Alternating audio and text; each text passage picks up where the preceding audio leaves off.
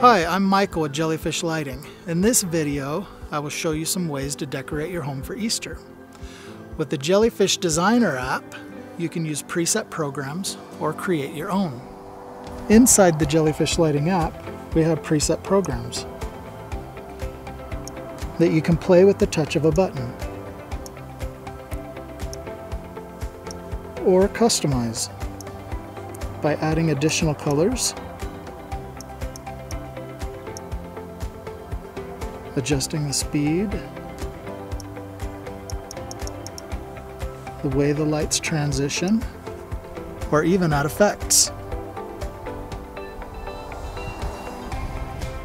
Creating a custom program is easy. Click on Pattern, select the type of program that you would like, add the colors that you would like to that program, add effects,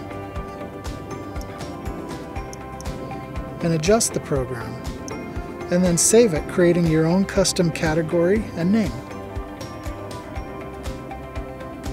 With Jellyfish Lighting, you also have custom zones, where you can come in and control each zone separately.